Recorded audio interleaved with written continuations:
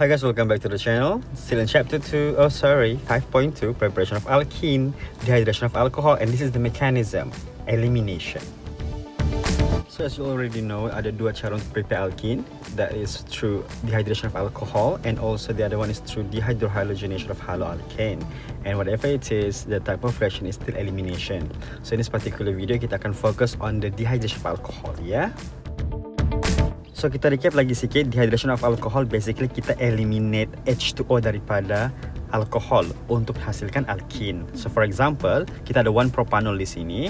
Ada OH di hujung kan Kita guna concentrated H2SO4 And then kita hasilkan propin Kita buang H dan OH Okay? H2O Eliminated.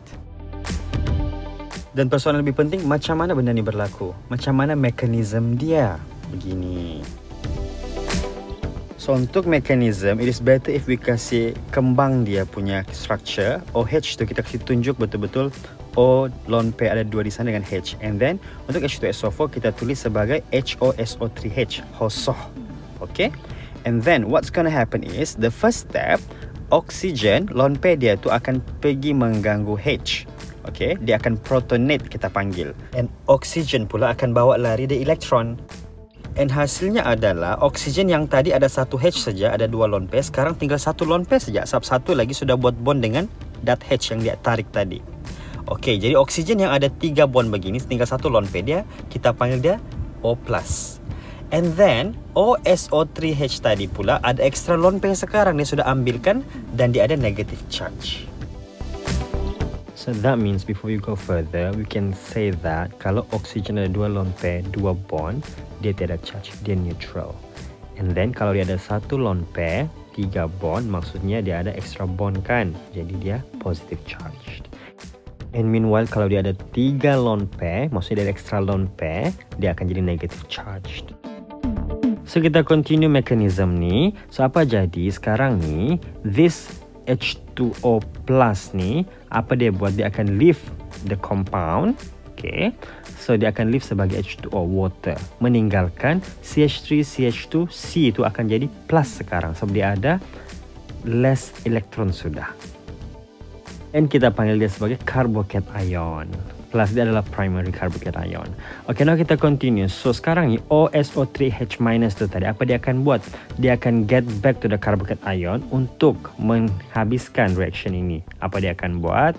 Dia akan attack this carbocation ion tapi tidak akan attack directly dekat plus tu. Sebab kalau attack directly dekat plus tu nanti dah jadi produk yang kita mau. Kita mau dapat alkene kan? So dia apa dia akan buat? Dia akan pergi dekat adjacent ataupun jiran sebelah. Ha, jiran sebelah yang mana? Hidrogen sebelah tu yang saya highlight ni. Ha, dia akan attack H ni supaya that bond antara H dengan C sebelah tu akan pergi dekat bond antara C dengan C plus tu. Ha, barulah terbentuk double bond yang kita mahu iaitu alkene yang kita mau jadikan produk.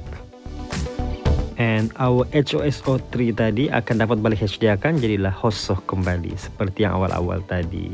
Ha, that's why dia adalah catalyst saja dalam reaction ni. H2O sebagai kita punya side product and then alkene sebagai kita punya main product.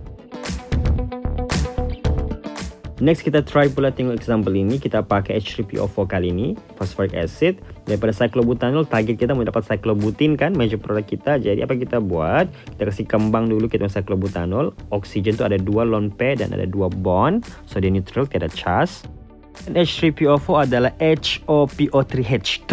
Ah, hopoh. Okey. So sama juga kita kasih kembang dia punya lone pair tu ada dua. So step pertama adalah protonation. Jadi oksigen ini akan serang hidrogen. Okay, ingat lone, lone pair tu serang H ya.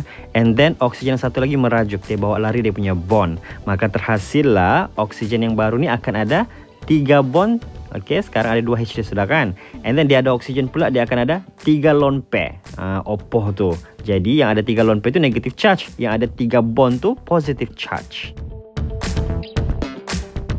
Next adalah H2O akan leave daripada compound ni. Macam mana caranya? Dia akan bawa lari bond tu ke arah oksigen. So, plus tu tak mengam tu oksigen. Dia akan bawa lari elektron tu. Maka terhasil H2O. Dan meninggalkan apa yang tinggal di sana? Tinggallah carbocation ion. Kelasnya secondary. Okay, moving on. Last step adalah Oppo tadi negative charge tu akan kembali untuk menyerang balik carbocation ion untuk membentuk alkin yang kita idam-idamkan. Macam biasa dia tidak akan direct pergi H. Uh, sorry, dia tidak akan pergi dekat plus tu. Tidak boleh, tidak boleh. So dia akan pergi dekat mana? Dia akan pergi dekat adjacent hydrogen supaya dia boleh buat double bond. Ingat, aim kita mau dapat double bond. Jadi attack dia punya adjacent hydrogen supaya bond tu pergi ha, dapatkan double bond dekat sebelah tu. Jadi hilanglah charge positif di sana sudah. Ha, dapatlah kembali cyclobutin dan juga hopoh yang awal-awal tadi.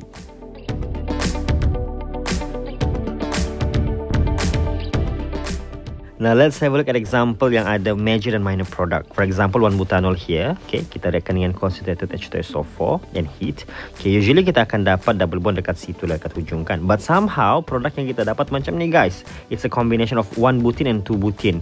And ternyata, bila kita check balik, based on Cez's rule, two butin sebenarnya adalah major product dia. Sebab one butin cuma ada one R group, sementara two butin ada dua R group. Eh, tapi macam mana boleh pergi tengah-tengah tu? Nah, bukankah dia di hujung? So kita start daripada kembangkan duluan butanol. Ada dua lone pair dan dua bond dekat oksigen. And then another one hosoh. Ada dua lone pair dua bond. And then oksigen ni dia ada lone pair dekat yang one butanol ni dia akan serang hydrogen protonation. Dia mendapat proton tu. And then osoh akan merajuk. Tinggallah dia ada tiga lone pair sekarang. Jadi negative charge. Yang ini ada tiga bond satu lone pair dia ada positive charge So next part adalah H2O akan pergi meninggalkan compound tu, okay, dia punya structure tu. So akan terhasillah carbocation ion. O tu sudah kena eliminate. Okay, sekarang kita cek carbocation ion ni kelas dia adalah primary carbocation ion. Kan kita mau tu butin dia punya double bond di tengah-tengah. Mana boleh diujungkan? Kalau diujung nanti dah akan dapat one butin. So macam mana? So apa yang berlaku adalah this primary carbocation ion tidak akan proceed dia akan proceed di sini. So apa dia akan buat? Hydrogen dekat sebelah tu akan tukar tempat dengan positive charge. Ha, dia tukar tempat ya sekali lagi dia tukar tempat dengan positive charge di situ maka terhasillah carbocation ion di tengah-tengah tu sekarang which is most stable. Ini adalah secondary carbocation ion. Dia tukar tempat ni. Ha, ini reversible reaction sebenarnya, reversible. Boleh berlaku patah balik. Okay, and it is more preferable untuk jadi secondary carbocation ion lebih stable dan disebabkan hydrogen tadi tu dia pindah tempat kita panggil shift tau yang dipanggil sebagai hydride shift dia berlaku sebelah-sebelah jadi kita panggil nama lengkap dia one to hydride shift Lepas sini lah kita boleh dapat two butin. Caranya adalah kita kasih keluar hydrogen, adjacent hydrogen and then kita kembalikan hosoh. Okay, osoh tadi, negative charge tu. And then dia akan attack adjacent hydrogen itu. Then bond antara carbon dan hydrogen tu pula akan pergi dekat tengah-tengah tu supaya dapat tubutin. Hilanglah dia punya positive charge sudah carbocation. Dapatlah tubutin sebagai major product yang kita mau tu. And then also akan dapat balik HDA kan. Jadi dapat dia kembali HOSO.